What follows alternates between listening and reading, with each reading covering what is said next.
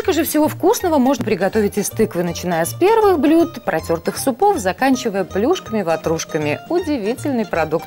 Удивляться продолжаем, о тыкве рассуждаем. Здравствуйте, дорогие друзья, и готовим сегодня то, что еще не готовили – чили кон карне в тыкве. Выбор блюда, конечно, не случайен. Было бы странно на Хэллоуин лепить пельмени или варить солянку. Посему географический принцип берем за основу. Более всего тыкву любят, то есть производят в Соединенных Штатах, Мексике, Китае и Индии. Острый перец, мясо, фасоль, ингредиенты тыкве импонирующие. Но вот какие-то пугающие факты ради праздника – это вряд ли их просто нет. Либо занимательная тыквенная математика. Всего существует 50 сортов. Самая большая тыква в мире весила 250 килограммов. Точно точно тыквенный монстр. Считается, что тыкву одомашнили 5000 лет назад. Либо адресование к народным рецептам. Тыкву включали в состав приворотных зелий, врачевали ею укусы змей, выводили веснушки и бессонницу. Либо опять и опять сплошная польза.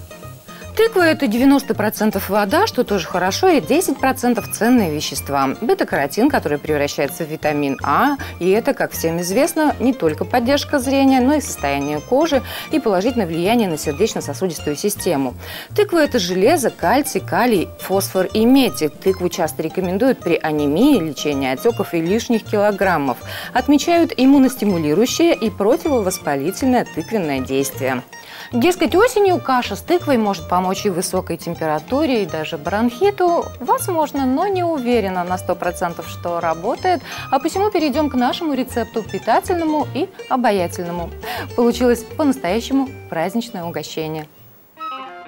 Чили кон карне в тыкве. Обжарить лук, чеснок, добавить фарш и нарезанную тыкву. Мякоть достать, убрать семена, оставить вычищенную оболочку. Плюс протертые томаты, фасоль и острый перец. Полученное поместить в тыкву, соль, перец по вкусу. Поставить в духовку минимум на полчаса. Отдельно приготовить макароны, что для чили кон карне, даже если это блюдо в тыкве, абсолютно не обязательно. Просто нашему образу они добавили колоритом. Все на сегодня. Удачи, приятного аппетита. С вами была Жанна Соловьева. До свидания.